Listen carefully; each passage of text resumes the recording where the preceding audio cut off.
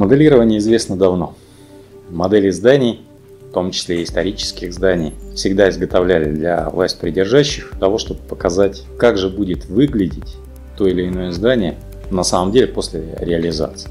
И эту традицию архитекторы соблюдали очень долго. Долго делались модели из разных материалов, в первую очередь из бумаги, что не совсем отвечало требованиям. Сложно сделать криволинейные поверхности, сложно выполнить нужную деталировку. 3D-моделирование – это совершенно новый этап в изготовлении 3D-моделей а, зданий. Они позволяют соблюсти геометрическую точность, как нарисовали, так получили. А легко масштабировать, то есть тиражировать модели при необходимости а, в разных масштабах. А вот вопрос для чего? Сегодня не только для того, чтобы увидеть отдельно стоящее здание. Сейчас крайне актуальным в облике городов стало выстраивание его архитектурного облика. Должна прослеживаться определенная а, стилистика, соразмерность зданий для того, чтобы придать облик городу вполне гармоничный. Более того, с 1 сентября даже появляются контрольные функции муниципалитета с точки зрения а, согласования и контроля за оформлением фасадов, соотношением объемов здания. К сожалению, когда выполняется проект отдельно стоящего здания, он не позволяет сразу оценить, а как же это здание будет соотноситься с а, окружающим. Так вот, 3D-моделирование, когда мы делаем целый квартал, например, из а, моделей зданий, позволяет эту проблему, на наш взгляд, вполне адекватно решить. И именно этим сейчас и занимаются наши студенты-архитекторы.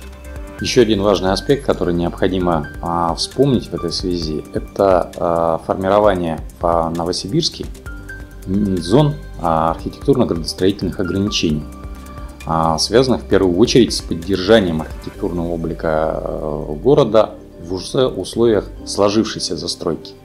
Это не означает, что в этих зонах строить ничего нельзя – но именно здесь придется обязательно учитывать уже сложившуюся застройку, этажность, объем, цветовые решения.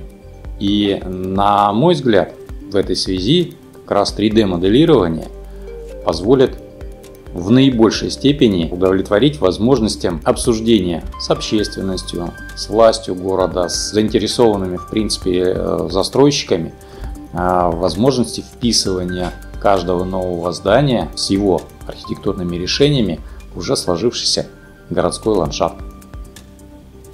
Меня зовут Рокер Дарья, я студентка 219 группы направления реконструкции и реставрации архитектурного наследия. В рамках дисциплины компьютерные технологии нам было дано задание воссоздать 3D-модели центр города Новосибирска. Здесь мы познакомились с новыми программами, изучили принцип их работы, а также как воплотить это в жизнь. Данная технология 3D-печати пластиком позволяет ускорить процесс обучения, а именно в создании макетов. Они получаются более качественными, детализированными, реалистичными, нежели в бумажном варианте. И к тому же студенты получают возможность приблизиться к современным технологиям. Я Меньшикова Юлия, обучаюсь в 219 группе на направлении реконструкция, реставрация архитектурного наследия. Я считаю, что на нашем направлении 3D-принтер позволяет нам воссоздать здание в его истинном облике, так как мы учимся на реставрации, это очень помогает нам, так как э, при составлении модели мы изучаем детали здания. Также на модели можно воспроизвести утерянные детали, в принципе, воссоздать полную реконструкцию здания. Разрабатываются и реализуются программы направленные на формирование цифровых компетенций специалистов строительной отрасли. Сибстрин предлагает дополнительное обучение в сфере технологий информационного моделирования, в области формирования навыков прототипирования и 3D-печати. Сегодня мы активно используем в процессе обучения программные комплексы ведущих вендоров России –